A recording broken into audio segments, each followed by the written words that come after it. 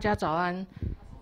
我们今天上课内容分为两个部分，第一个部分是将灭尽定品做一个重点的提示，第二个部分是我们要进入新的单元，也就是陈实论道地句智论第一百九十八品忍智品。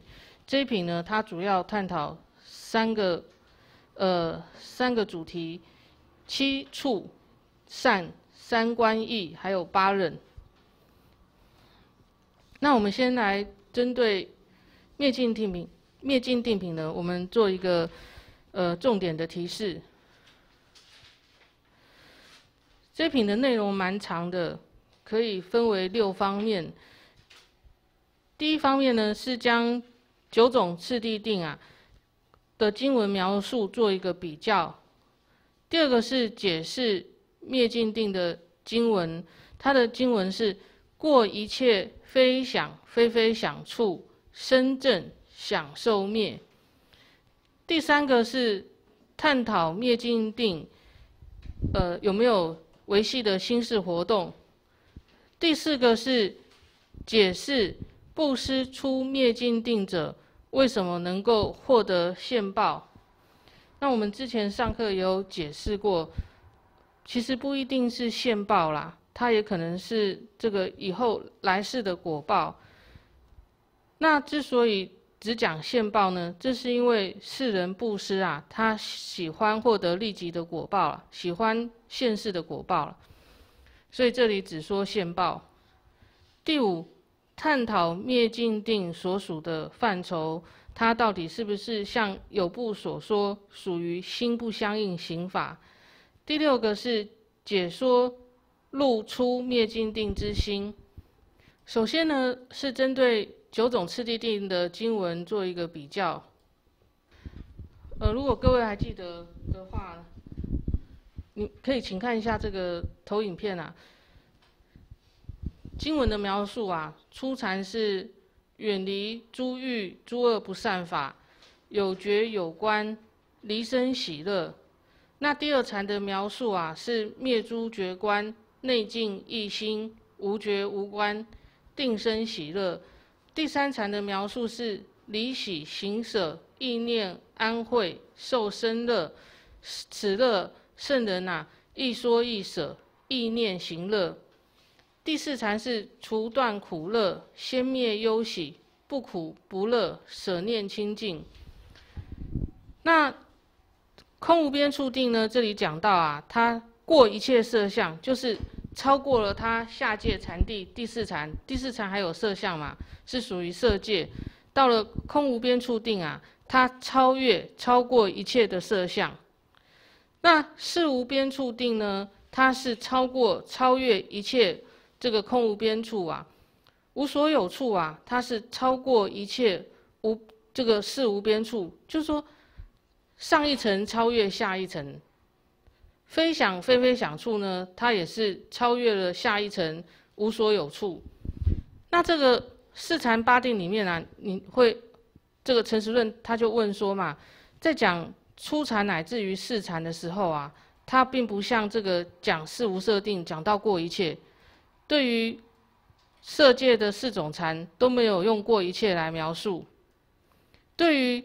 无色界的四种定呢，它不用灭，灭不是这里讲的这个什么阿斯当伽嘛，不是，灭是灭尽定的灭，尼罗塔都没有讲到尼罗塔这个字啊，呃，尼罗塔这个字啊，有时候被视为是涅盘的同义语啊，就是说这里就问说，为什么对于色界禅呢，不说过一切，不用过一切来描述，那对于四种色无色界定。不说这个尼罗塔这个灭呢？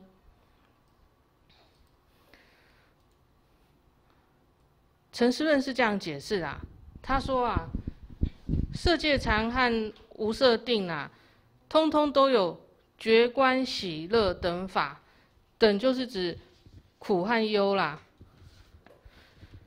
觉观苦乐忧喜，这个四色界禅、四无色定都有的。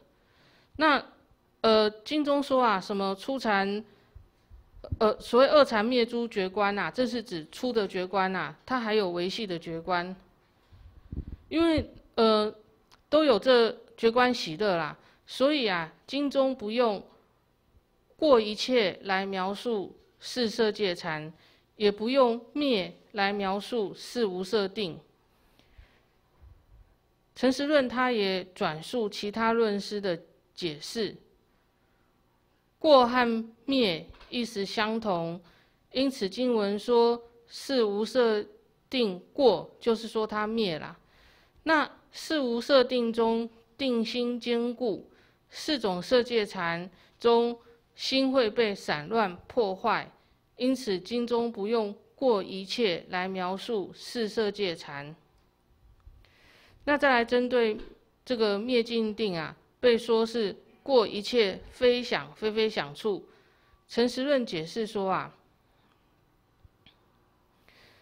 深正阿那含，这里讲到深正阿那含，因为能够得到灭尽定第九次第定的只有两种人嘛，一种是阿那含，那这种阿那含被叫做深正，另外一种啊就是呃这个阿罗汉嘛。那阿那含呐，他烦恼没有断尽，他仍然有这个非想非非想处的贪欲，怎么能够说他过一切非想非非想处呢？这是因为啊，阿那含能够关键非想非非想处一切行灭，行就是指有为法啦，因此啊，可以说他过一切非想非非想处。那诚实论的特色在于区分两种灭尽定。第一个啊，叫做第八解脱，灭尽一切烦恼。有一个字要改一下，本来是写得阿罗汉果嘛，不是，改成即第八解脱，就是指阿罗汉果了。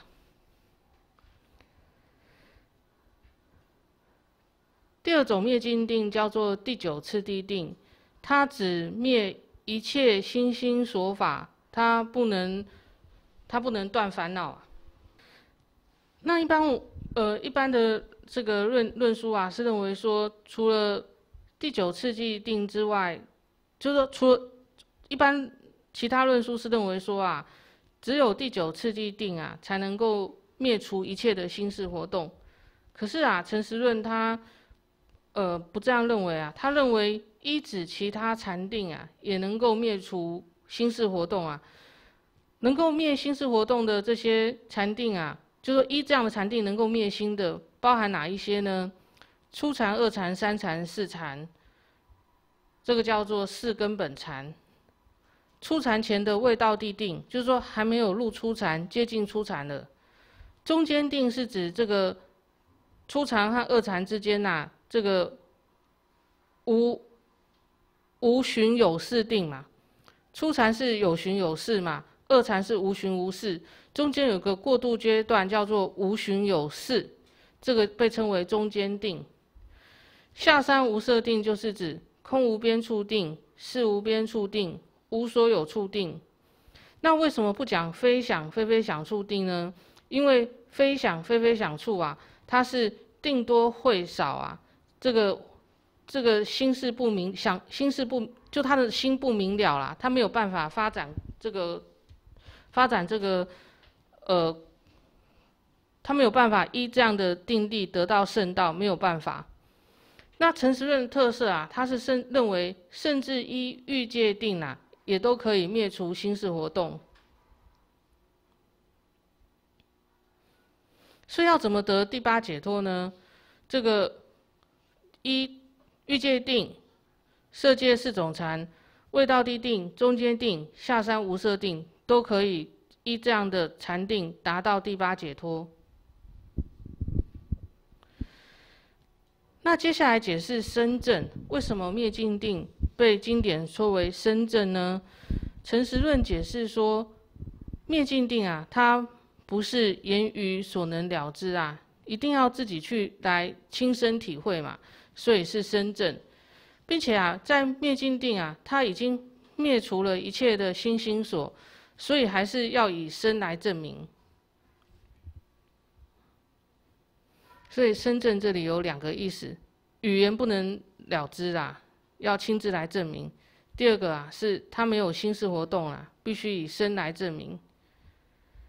再来针对灭尽定被说为想受灭，这个想和受是什么意思？有的论师啊认为想和受啊，它是就是指这个想心所和受心所，因为这两个心所啊是最殊胜的，所以被特别的说出。陈实论他不这样子认为，他说如果以殊胜来讲啊，所有的这些心心所里面。最殊胜的是心王啊，也就是是。既然叫做王，它才是最殊胜的嘛。如果按照这样的一个思路来解释，那经文应当说心灭啊，而不是享受灭。那我又补了一一一两句啦，红色的字。然而经文并非如此说，可见上述解释是错误的。经文并没有说心灭啊。所以这个论是说，以书圣来讲，这样的一个解释是错误的。那陈实论怎么解释享享受灭呢？他说啊，一切的心都可以叫做受啊。这个受又分为享受和会受。享受是指以有为法作为所缘的心，会受是指以无为法作为所缘的心。这个想啊，享受灭的想，想就是指这个有为圆心啦；受就是指会受，也就是无为圆心。这种呃享受灭的话，就是不论以有为法作为所缘的心，还是以无为法作为所缘的心，通通都灭了。这个就是一切心心所都灭。所以，呃，想跟受，并不是指想心所和受心所。而是指有为圆心和无为圆心，这个是诚实论的解释。这样的解释也是很特殊啊。再讲到灭尽定到底有没有维系的心事呢？诚实论是主张没有。那针对反对者的种种批判啊，诚实论的答辩分为七点。第一个。经中说，入灭尽定者，他只有心灭哦，可是他的寿命和体乐并没有离开身体，因此有无心众生。这个是针对反对者说啊，这个众生啊，或者意为有情啊，他是有一定是有心的嘛，不可能无心啊。那陈时润说，虽然无心，可是寿命体乐没有离开啊。然后呢，陈实论用德来解释，这个入灭尽定者，他的这个心的德，它是存在的，所以和木头、石头这种呃无心事的东西是不一样的。同样是没有心事活动在，虽然就是说同样没有心事活动，可是入灭尽定者和木石不一样，因为它有心的德，德我们之前解释过嘛。就是说，将这个法细细数众生嘛，使众生得到这个法，不失去这个法，叫做德。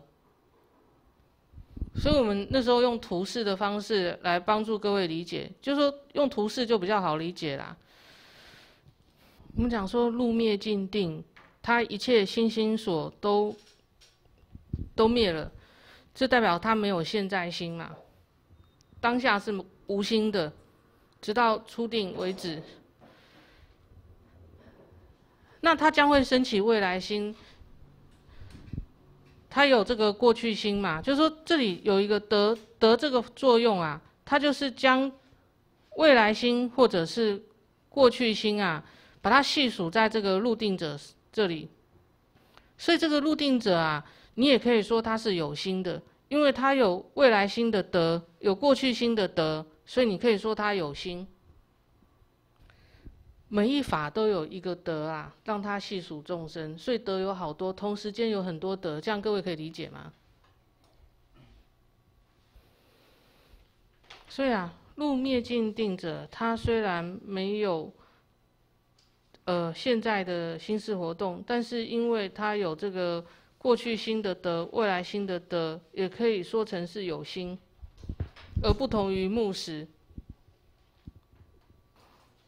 刚刚讲的是第一点反驳，第二点反驳，经中说寿命、体乐、心事这三件事不相离。陈实论指出啊，这个是有针对性的啦，针对欲界和色界的众生来说，并非所有的场合都有这三件事。像陈实润就有提到，无色界既然无色。他怎么会有体热呢？所以并非这个三世不相离啦，无色界众生就没有体热啊。同理啦，这个入灭尽定者啊，没有心事，这个说得过去。第三点啊，入灭尽定者，并非全都没有事实而无法存活，就说人必须依赖事实才能存活嘛。此人仍有先前的意思时，意思时就是指思心所啦。那这个这里的这个意思时啊，是指过去的思心所有得在现在，没有现在思心所，因为他已经停止一切心事活动了嘛，并且仍有冷热处时。第十七品四谛品中也说此人呐，他的事。这个德啊，在现在，因此仍然有有事实。嗯，所以我在白板上说明一下：入灭尽定者，他有有哪几时啊？有有团食吗？他不吃食物嘛，所以。四十里面呐，团食去掉，它有三十，促时、意思时，还有四十。那我们要注意到这个促时，陈思润的解释跟有部不一样，有部是解释为是促心所嘛。根茎是和合生处，那个处心所。陈时润说这个是冷热风啦。如果处时是处心所的话，那入灭静定，停止一切心事活动，当然就没有处时。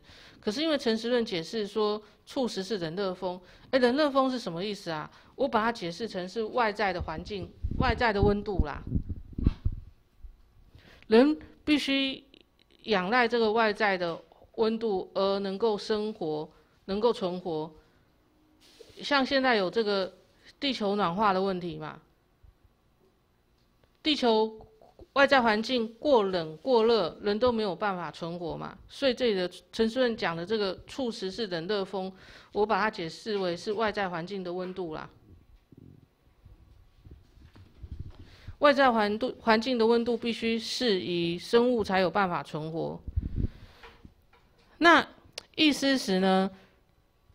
陈顺解释是指过去的私心所有现在得了，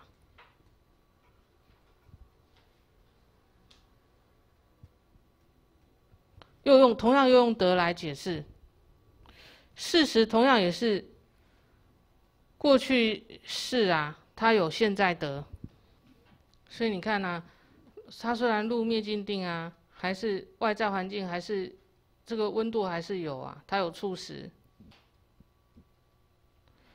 然后啊有过去思，它有这个得，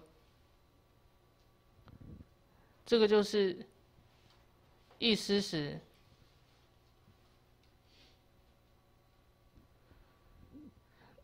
过去式，其实也可以讲到未来式啊，因为它还是会升起啊。过去式或未来式，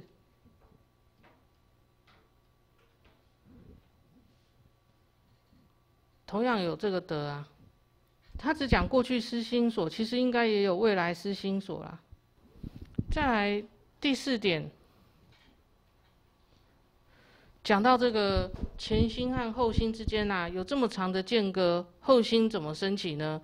陈思润解释说啊，入定前心能给其后的初定心做原因，就像已灭的业啊，它在遥远的以后啊，可以升起果报一样，业生果报中间有间隔啊。既然中间有间隔，业都能够升起果报，同样的嘛，呃，入定前心跟后心虽然有间隔，可是前心能给有间隔的后心做原因。第五点。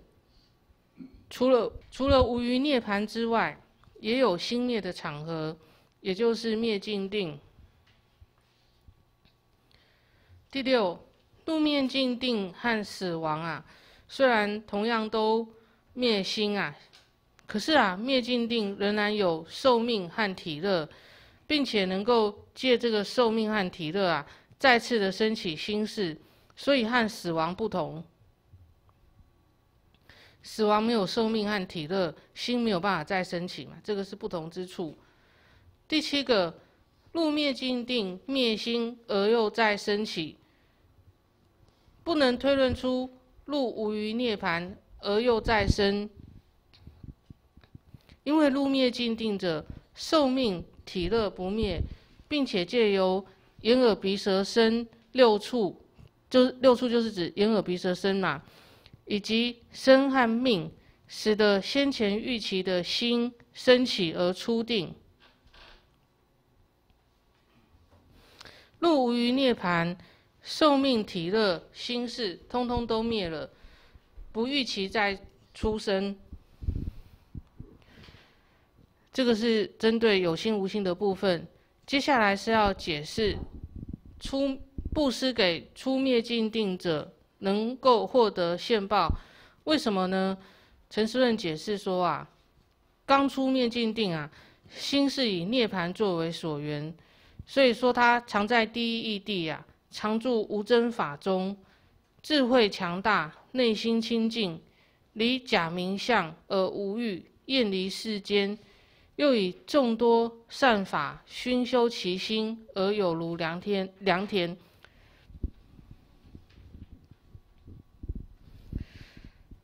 因此，布施出此定者，能够获得现报。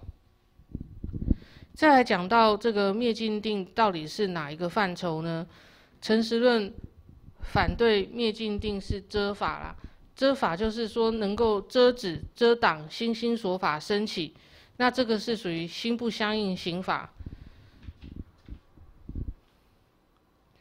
他否定是心不相应行法。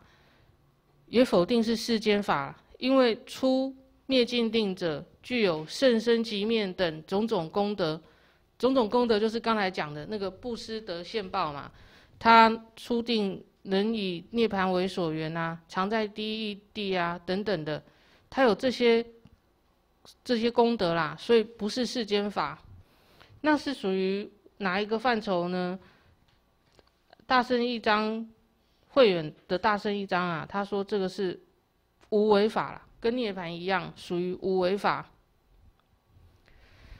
再来是关于入出灭尽定之心，陈实论说，入定的时候啊，是次定入定，次第入定就是从欲界心嘛，然后初禅、二禅、三禅、四禅。空无边处，事无边处，无所有处，非想非非想处。再来就是灭尽定嘛。初定的时候也是次定初次第初定，渐入初心。刚出灭尽定的时候，是以涅盘作为所缘，有三种处：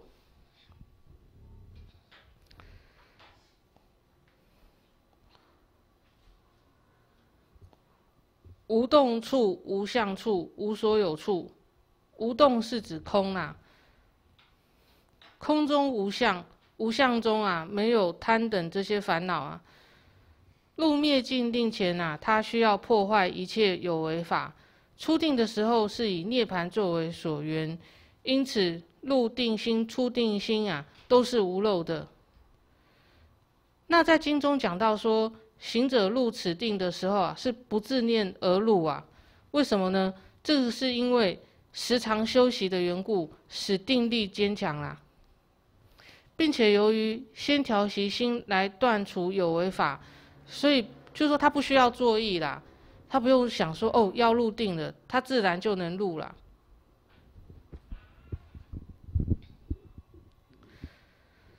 最后讲到说啊，这个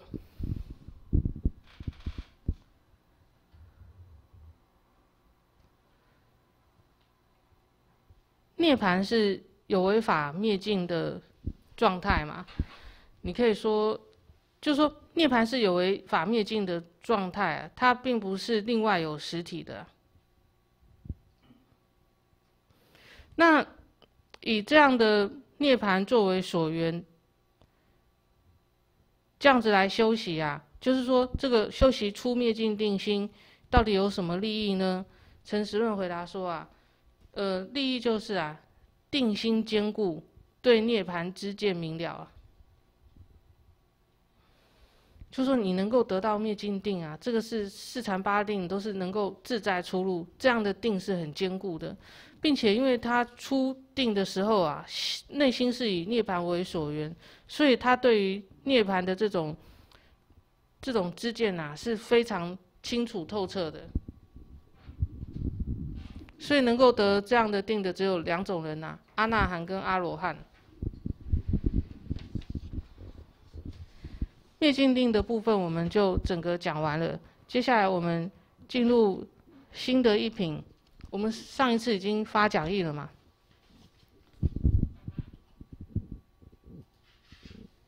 各位有带讲义吗？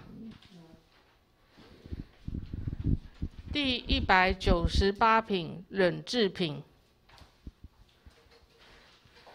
这品的内容分成三个主题啊：七方便、三种观以及八忍。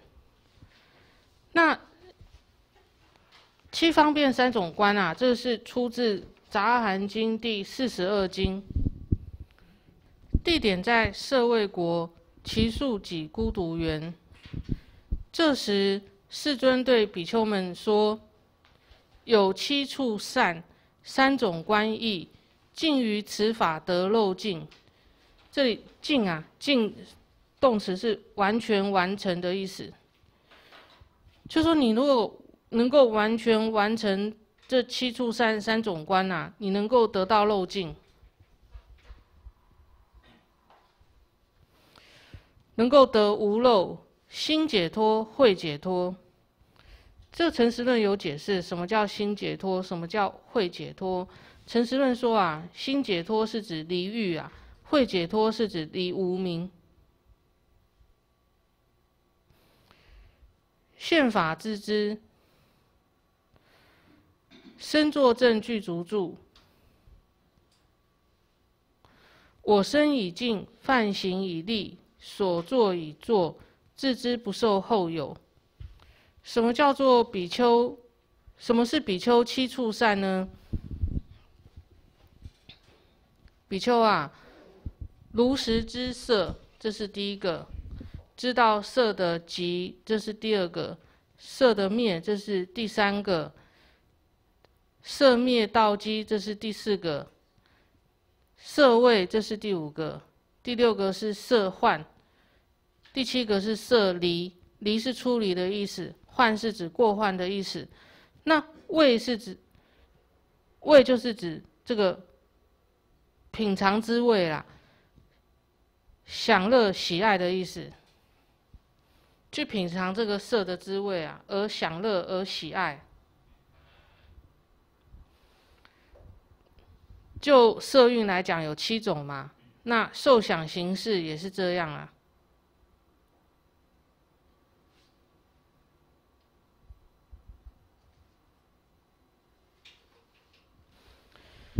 什么什么是色如实知呢？所有色啊，也就是地水火风四大以及四大所造色，这叫做色。像这样啊，色如实知。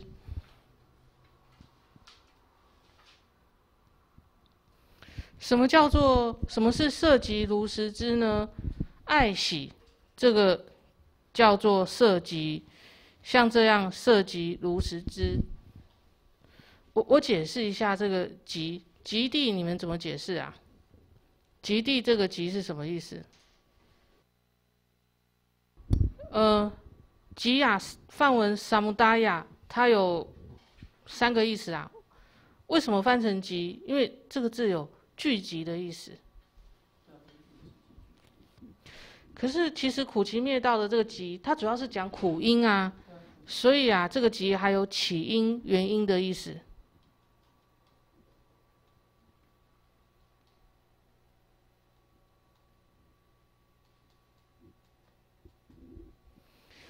还有升起的意思，产生升起的意思。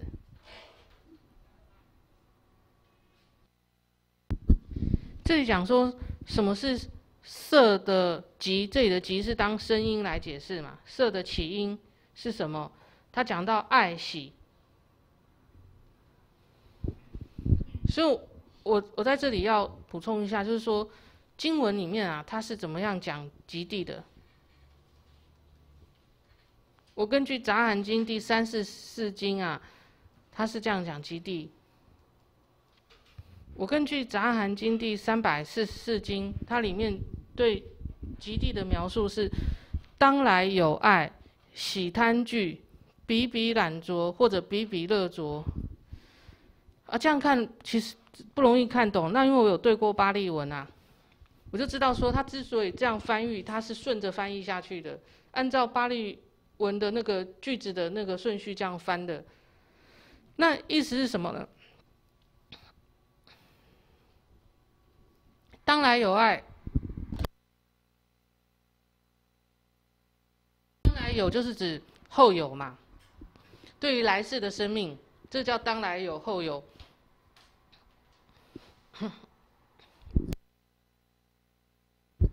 所以当来有爱啊，我是这样解的，它是。导致后有的贪爱啊，这个贪爱就是希望有那个来世的生命嘛，而这样的贪爱啊，和喜贪俱行，和喜贪一起的，这个贪爱和喜贪一起，和喜贪俱行啊，比比就是到处的意思，这个贪爱啊。到处到处懒着，或者说乐着啦。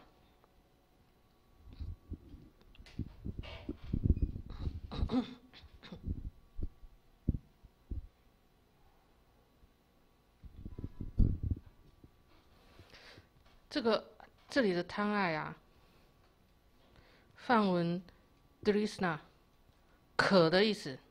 或者翻为可爱，口渴啊，这个爱是渴的意思。那这个喜贪具的贪呐，范文是拉嘎，懒的意思，懒色。这个字原来有颜色的意思，它可以染色颜色。那翻成贪，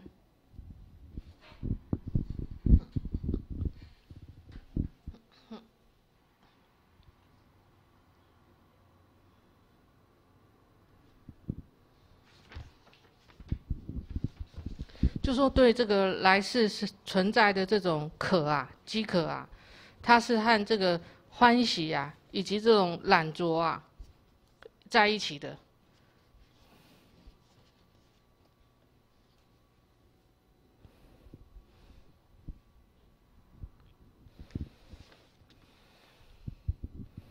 所以刚才讲到说，呃，什么是色即啊？色即就是爱喜。这个爱是后有爱，爱喜这个是色即。什么是色灭如实知呢？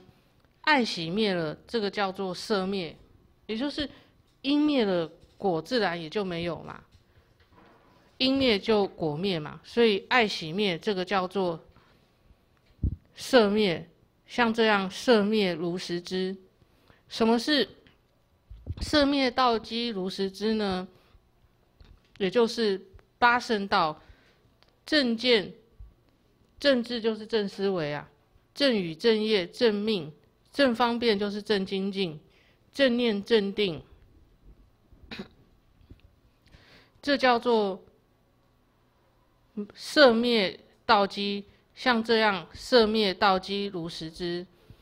什么是色味如实知呢？我们刚刚讲味是品尝滋味的意思嘛，品尝色的滋味，然后会产生 喜乐嘛。色味就是啊，以色作为因缘所生的喜乐，这个叫做色味。那什么是色的过患如实知呢？这个色啊，它是无常苦变异法，这个叫做色的过患。嗯，你看它前面“落色无常苦变异法”，这个“落”是什么意思？各位如果要翻成白话文，要怎么翻？“落”这里要怎么翻呢？这几年来在看陈实润啊，慢慢就跟因为以前我有短暂的有去。学习过范文嘛？所以我看到弱字啊，大概有这三种可能性啊。以前呢，我都把若当成是如果啊，你这样翻不一定对啦。你看到若，第一个你想，你可以去看看它到底是不是讲如果。第二个啊，它可以当混使用，当什么什么之时。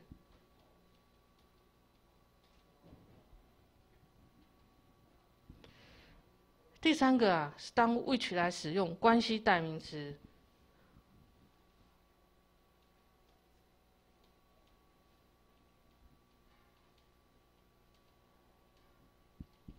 你要翻译说凡事，或者不翻译。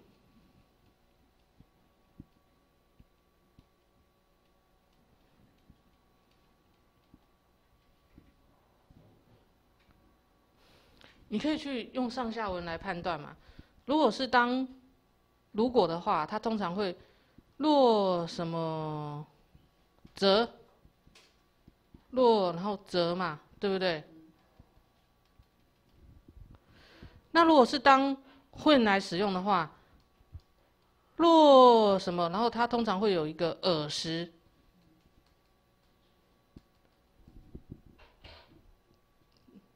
你会发现有这样的一个句型。那如果是当关系代名词来使用啊，若然后下一个句是是是此的意思啊。英文的话，你就是 which that。那这里的若啊，你就要翻成凡是什么什么什么，这叫做什么？或者你就不不翻译。或不翻译，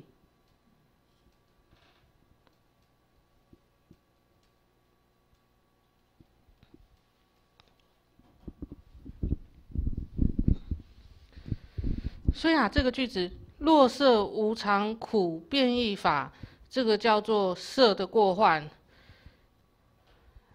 那其实啊，翻成白话文应该是说啊，凡是就是说翻成白话文这里。这个“若”我觉得不要翻译啦，就是说这个“色”啊，它是无常苦变异之法，这个叫做色幻。是名色幻，这个“是”就是这叫做色的过患啊。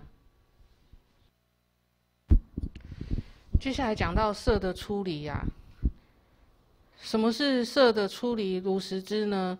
也就是于色调伏欲贪，断欲贪。超越欲贪，这叫做色的出离。那接下来是讲到受，什么是受如实知呢？受受就是指六受啦，眼触身受，耳鼻舌身意触身受，这个叫做受。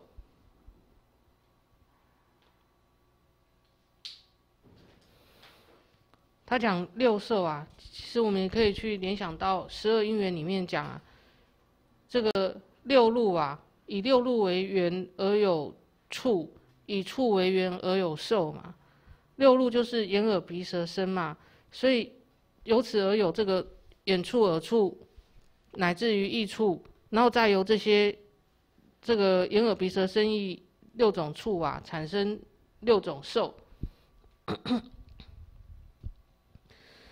什么是受的极呢？这里极是声音嘛？这里回答说：触及，此受极。触及的极是什么意思啊？这里的极应该当什么意思？哦，我现在是在讲字义。受极如何知？这里极是指这个声音嘛？受的原因是什么？他讲啊，触及触升起啦，这个受就升起。我们讲说即有三个意思，积极聚集，第一个，第二个是原因，第三个是升起嘛。那这里我觉得你可以把它解释为是升起，触升起了，受也就升起了，原因生果就跟着升起。什么是受灭如实知呢？触灭，然后呢？受也就灭了。这里这个“是”这个字是当做代名词啊。此受，呃，应该怎么讲？只是，只是代名词吗？呃，就是“是”就是“此”的意思啦。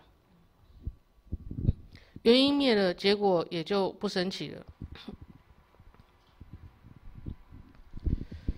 受灭道基呢，一样是八正道。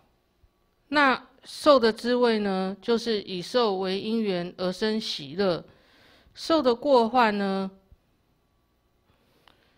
呃，受啊，它是无常苦变异法，这个是这个叫做受的过患。什么是受的出离呢？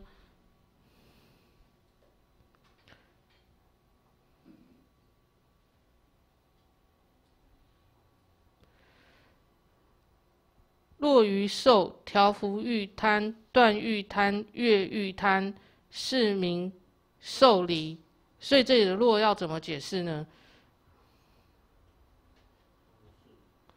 当凡事来解，或者你可以不翻译啦。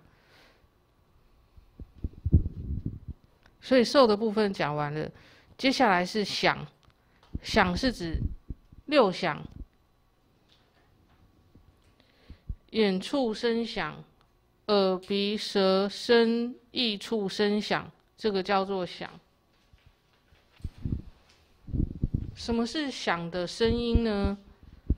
这里讲到触声呐，这个响也就跟着生。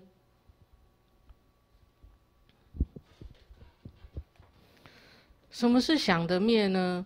触灭，响也就灭了。那。想灭道基就是八圣道，想的滋味就是同样也是喜乐嘛。想的过患，同样也是想它是无常苦变异法。想的出离就是啊，对于想调伏欲贪、断欲贪、越欲贪，这个叫做想的出离。接下来是讲到行，什么是行呢？这里说六思六思身，眼处生思，耳鼻舌身意处生思，这个叫做行。那这里说六思身，身是什么意思啊？呃，我解释一下。身啊，梵文是嘎雅，它有三个意思。我们一般是说身体嘛。这里不可能当身体来讲啊。第二个，它有聚集的意思。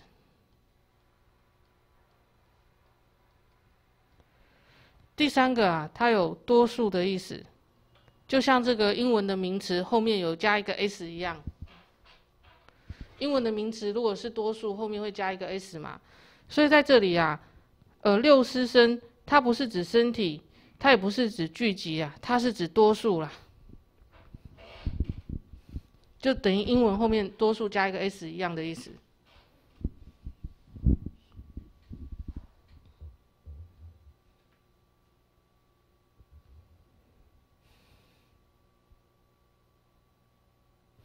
那他在讲行运的时候啊，行运是很多很多星所啊，只讲到失星所，为什么呢？我的理解是这样啊，失星所是行运中最首要的。所以以失作为代表，失星所是行运中最重要。再来讲到行的声音，同样也是这个触啦，触升起了，行也就跟着升起。那行什么是行的灭呢？触灭了，行也就灭了。那行灭道基一样是八圣道，行的滋味一样是喜乐，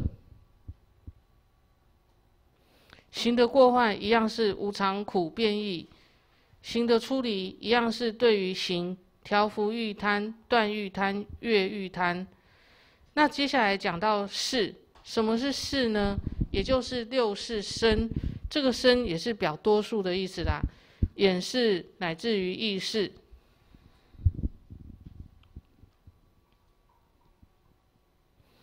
什么是视的声音呢？这里讲到是明色，明色生，事也就跟着生。哎，有没有觉得怪怪的？明色跟事到底是什么样的？因果关系啊，谁是谁的因？我们一般是怎么说？一般说事是名色的因嘛，所以我们等一下再来探讨。我们先休息一下，谢谢。嗯，刚才讲到事的声音，这里说名色升起，事也跟着升起。那刚才有提到啊，我们一般讲名色跟事的关系啊，我们说是事缘名色。以事为因缘而生名色，可是这里讲啊，讲的是这个名色缘事啊，刚好反过来。那其实这个其他的经里面也有说到了，在杂含经两百八十八经。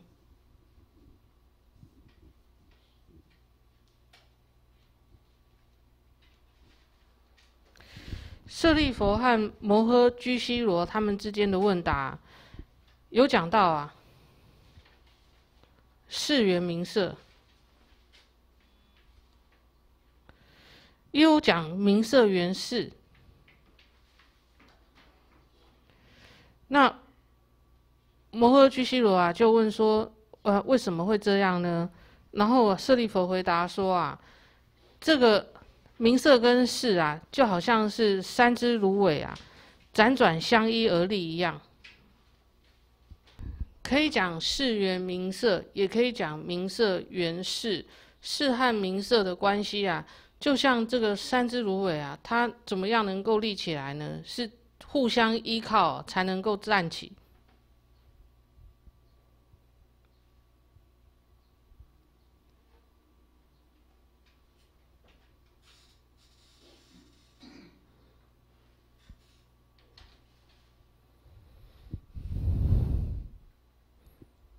但是啊，如果我们从呃十二因缘呐、三世两重因果来看这个世缘名色名色缘事的话，要要怎么样理解呢？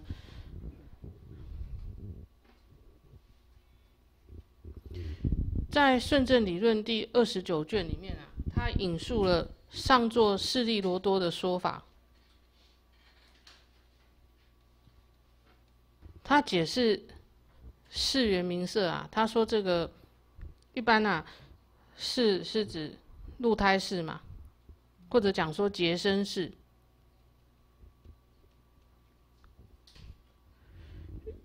因为这个是入胎了嘛，所以产生了这个新的这个此生的这个名色。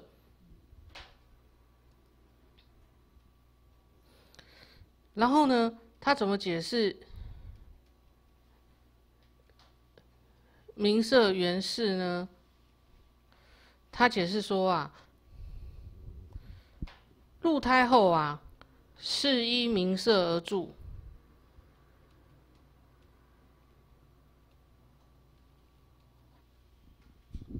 所以名色原氏这个事就不是入胎事了，是指入胎之后的事。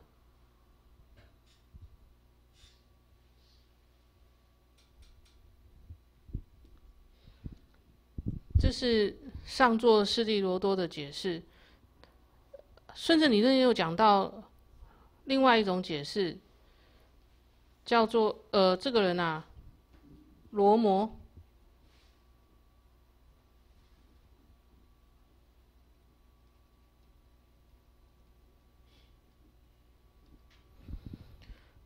他这样子解，他说名色原是啊，这个名色是指中阴的那个名色，在中阴阶段的名色，它所产生的事啊是入胎式，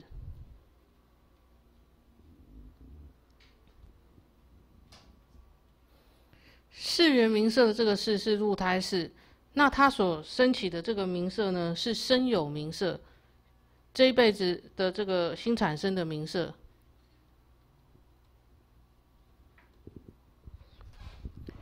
名色原是这个名色是中有名色，世人名色，这个名色是生有名色。众贤他反对这上面两种说法。因为上面两种他讲的这个，呃，世缘名色、名色缘是，它是一个前后的一个关系。仲贤认为啊，它是同时的。前面两种说法都是从这个前后的因果关系来讲，是从相续的角度来说，仲贤反对啊。他说这个是同时的因果啦，是约一刹那来说。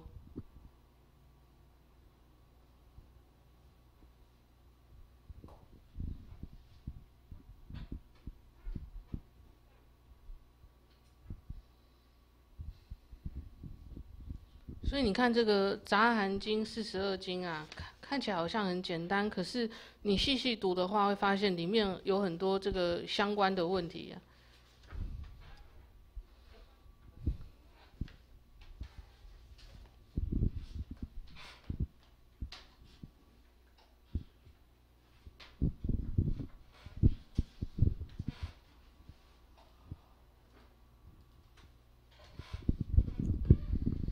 接下来讲到这个什么是世灭如实知呢？讲义的第七页上方，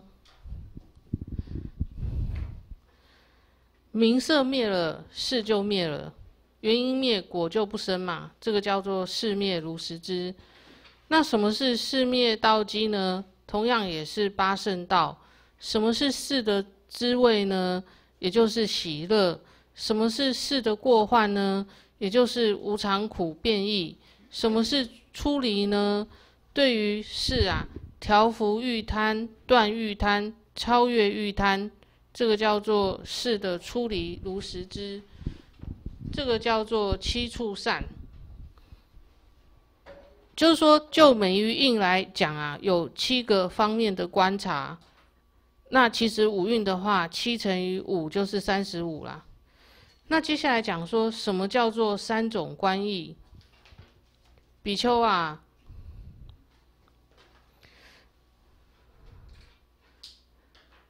凡是在空闲树下空地观察因界路，正方便思维其意，这个叫做比丘三种观意。所以你看这个经文，三种观意是什么？如果你直接看经文的话，三种观意是指什么？观察运运处界嘛。可是陈实论他不这样子解释，等一下我们会看到了。那因为这个佛佛典啊，它有不同的版本啊，有南传北传嘛，所以说法有出入。我在。白板上稍微解说明一下，《扎含经》四十二经讲三种观，是指运、界、处。那运我们通常会说是五运嘛，处是十二处嘛，戒的话就有有两种说法，有认为是六或者是十八啦。六界就是地水火风空四。那还有另外一个汉译本啊，叫做《七处三观经》，里面讲的三种观啊，是生、五蕴，还有六衰。六衰就是指外六处啦，色、声、香味、触、法。那南传的。南传的经文呢，他讲啊，戒、处、缘起，所以呃，不同的版本有它的出有一些出入啦。再回到经文。这叫做比丘七处善三种观意，尽于此法得漏尽。尽我们刚才解释过嘛，是完全完成的意思。完全完成的这七处善三种观意啊，能够得到漏尽，能够得无漏，心解脱，会解脱。陈时润解释说，心解脱是指离欲，会解脱是指离无明。宪法自知作证具足住。我身已尽，犯行已立，所作已作，自知不受后有。所以我把这个七处善啊，我再稍微做一下简略的复习。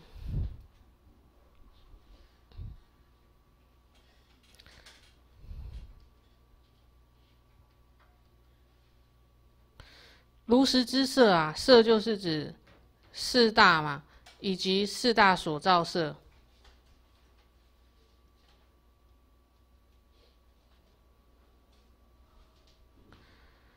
那如实之色集呢？色集是他讲爱喜嘛，就是与喜剧型的后有爱啦。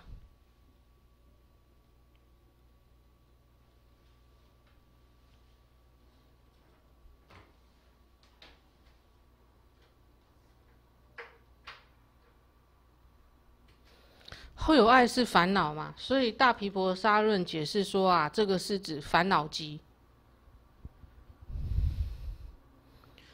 后有爱，所以他讲的是，呃，他认为这这个是一个中有的阶段啊，就是说，因为呃，人因为贪恋他的这个后后生呐，所以他会投胎嘛，所以这里的色即有这样的一个意味。色其实它可以，你可以就是说。来这里的色就有点类似来世的生命啦，来世的这个色色这个身色身嘛，然后他有这个后有的贪爱，所以他导致这个来世又有这个身体，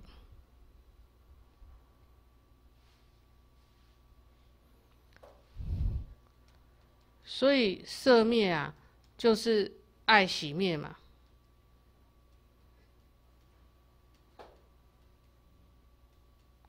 爱喜灭，色就灭，这个是讲因灭故果灭吗？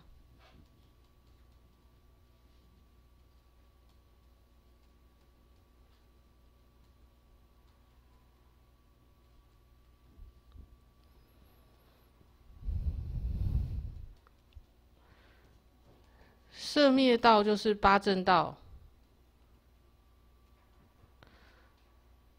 色位就是。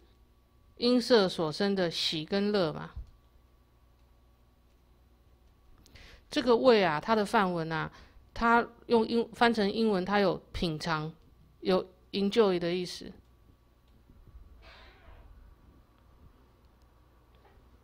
享乐啊，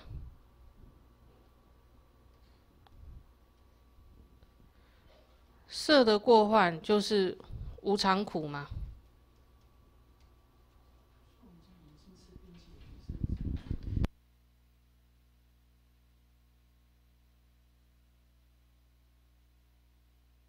这里就是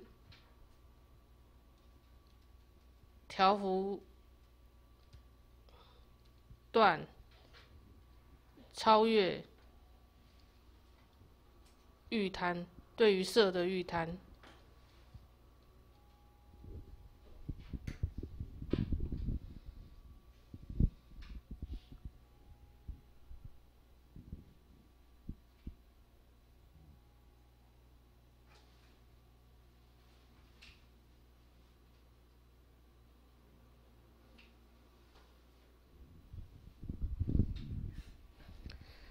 这个是色的部分，接下来是受。受就是六受嘛，眼触乃至于意触生受。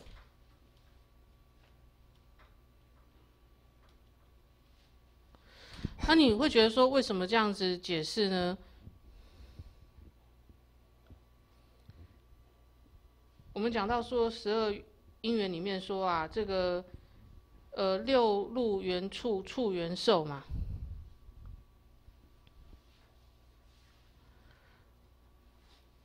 受的这个声音啊，就是处。刚讲到了，以处为缘而有受，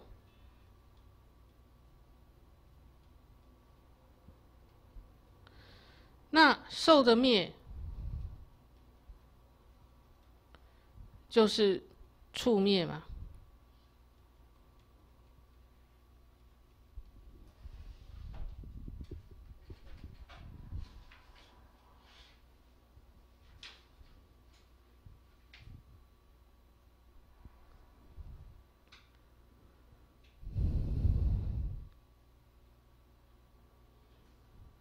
那后面都一样。再来讲到想。也是眼处，乃至于异处，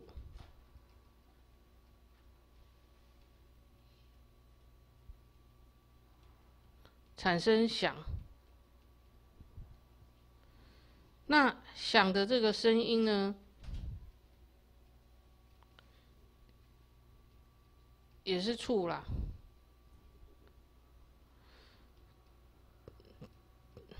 杂含经第两百七十六经有说啊，以处为缘而有想啊，处缘想。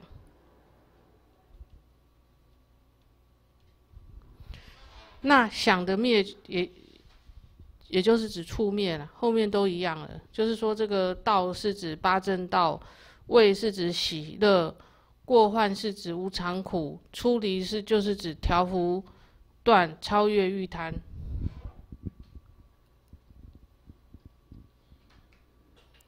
心也一样嘛，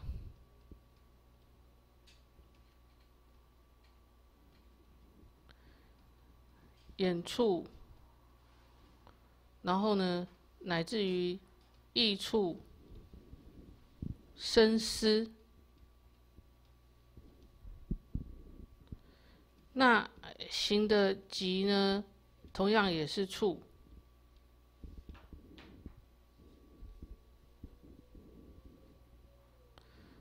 同样是《杂阿含经》二七六经讲啊，以触为缘而产生思，讲到触缘思。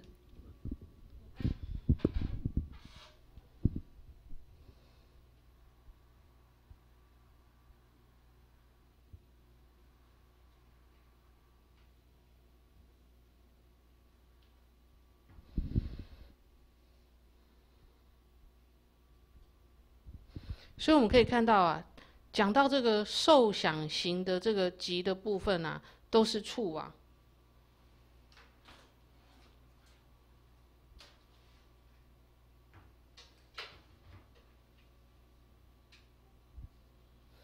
大毗婆沙论解释，这是本有的阶段。本有就是指现在这个生命嘛。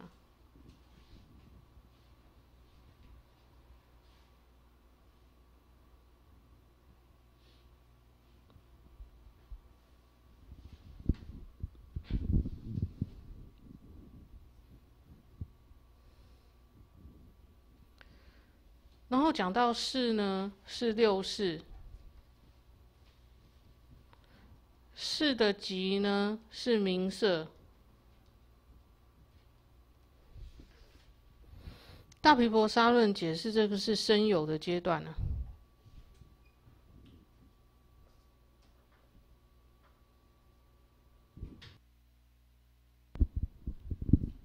那其实这。七处善呐，它跟四地、四圣地有一个对应的关系嘛。比如说第一个啊，官色或者我们讲官五运，它是四地里面的哪一地呢？是属于苦地嘛？那官这个色集是属于哪一地？官色集。对啊，想起来就是，就是就是极地嘛。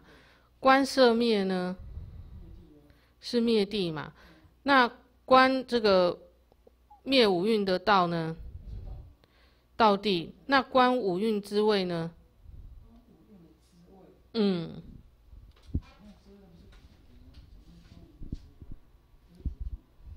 味是喜乐哦，所以是属于什么地？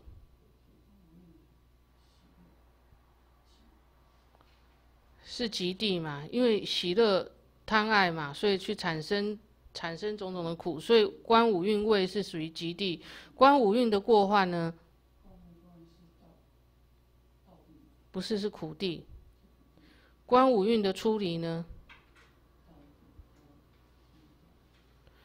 灭地。所以我们讲义，你如果看第八页的话，我有整理出来了。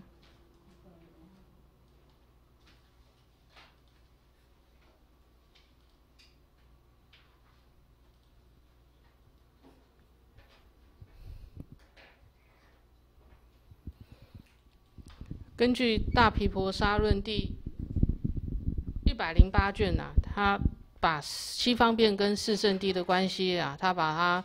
呃，说说出来，就是前面其实很清楚是苦集灭道嘛。那味味是指喜乐，它是属于这个极地的部，属于极地。无常苦，这是属于苦过患是无常跟苦嘛，所以这是苦地。观五蕴啊，这个调伏断超越，这个是灭地。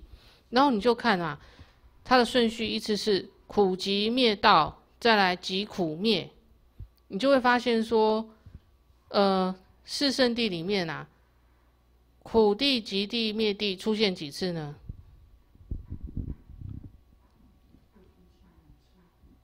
出现两次，道地只出现一次，为什么呢？大毗婆沙论解释啊，因为其实七方便啊，通通都是道地的，因为你有一个去观嘛，观察就是道地啊。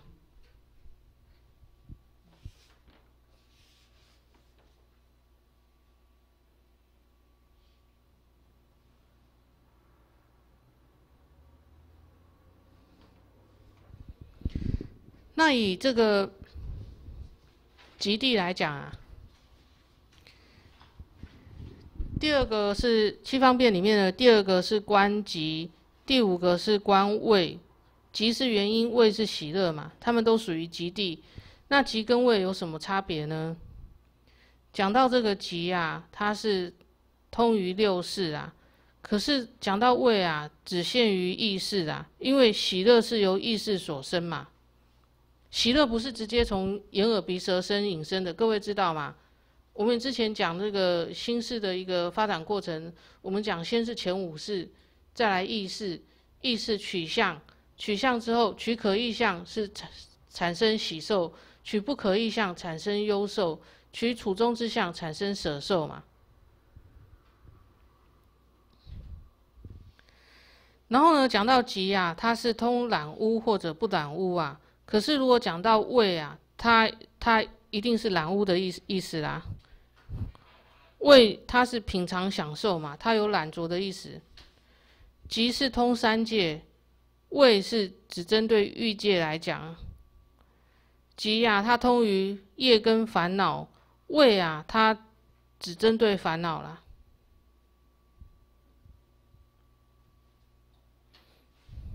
因为喜乐后面就是贪呐，急呢是通种种烦恼，畏啊它只仅针对爱啦，仅针对贪爱。再讲到七方便里面啊，第一个是观苦，第六个是观过患，他们都属于苦地。那差别是什么呢？苦啊，它通于苦受乐受，不苦不乐受。那这个过患啊，它只针对苦受啦。过是指无常苦变异啊，它只针对苦啦。那苦呢，它是通染污不染污；过患呐，它它只仅是染污的啦。苦是通于三界，过患呐是针对欲界。苦是通于业和烦恼啊。苦有业苦和烦恼苦嘛？那过患呐，它只针对烦恼。苦是通于种种烦恼，这个过患呐，是因为爱而引生呐。再来就是七方便、七处善里面的这个第三个啊，是观灭；第七个是观出离，他们都是属于灭地。那差别在哪里呢？观灭啊，这个灭是针对已生的烦恼业；观出离啊，它是针对卫生的烦恼业。那我可以再补充一下，《大毗婆沙论》同样也是一百零八卷啊，它里面讲到。呃，某一个论师的解释啊，他说啊，七处善三义观啊，它是针对这个三贤位啦，是属于三贤位。那如果你能够到如实知的阶阶段啊。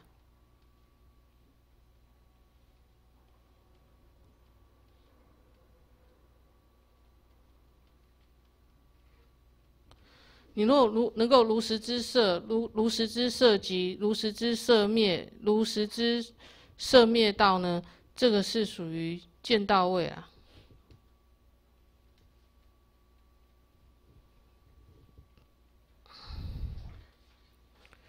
如果能够如实之色位啊，色的过患啊，色的出离呀，这个是修到位。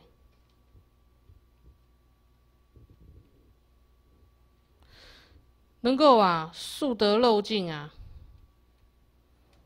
这个是无学位。就是说，你做运界处的观察，然后观察色，观察色极，观察射灭，观察射灭到机，观察射位、射过、射出，这些都是三贤位的阶段。但是你达到如实知的阶段的时候啊，前面四种就是见到位。后面三种是属于修道位，你如果说啊达到漏尽啊，这就是无学位了。嗯，所以我们现在看讲义啊。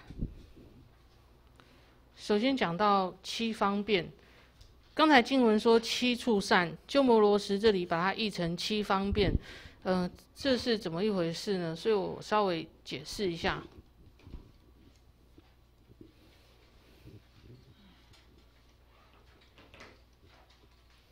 七处善是什么意思？七种场合，处就是处所场合嘛。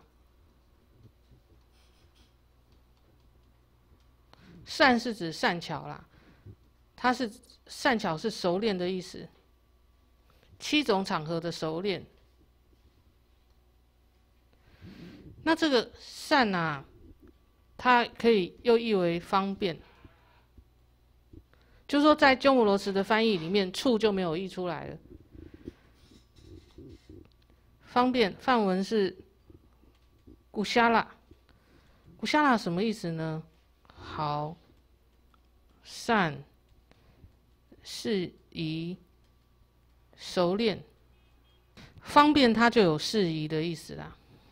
这里问经中说，凡是行者有七方便、三种观，于此法中迅速得漏尽，这是什么字呢？陈思润回答说：“七方便指文会和思会，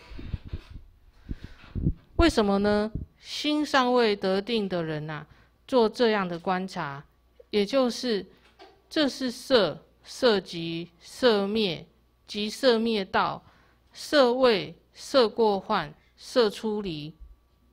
他这里讲到心尚未得定啊，如果心得定的话，就是属于修慧了。所以他说心尚未得定，这样观察，所以是属于文会和思会的阶段。文会和思会的阶段是什么？就是指三贤位或者说念处位啦。修会是属于四善根位以后。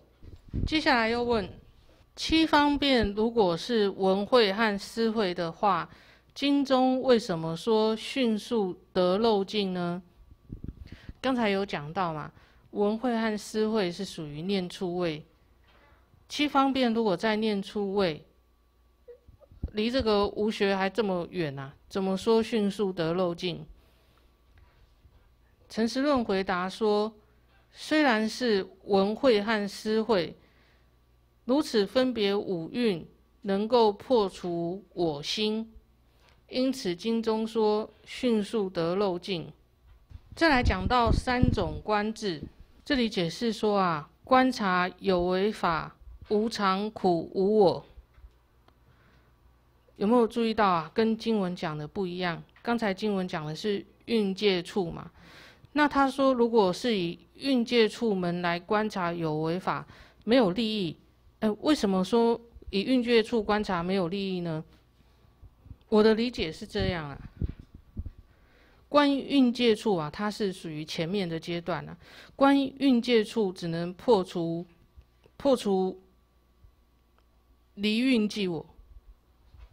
就说你分析我们这个这个人呐，其实只是色受想行识的和合，除了色受想行识啊，并没有我存在，这个是破离运即我嘛。认为有一个实在的借由观这个运界处啊，可以破除离运即我。可是啊，不能破即运即我。即运即我就是把五蕴当成是我啊。他这里讲没有利益意义，是指说他没有办法真正的断除烦恼，因为你只是破了一个部分，你没有通通都破。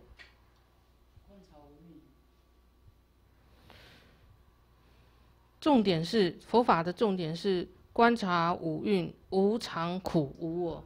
而不是只观察五蕴而已。如果你只是纯粹分析五蕴，你只能获得除了五蕴之外，并没有一个独立实在的自我。但是你不能破除说执执着这个五蕴个别的色受想形式是我，你没有办法破。所以这个我们下一次上课再来探讨了。我们今天上课上到这里。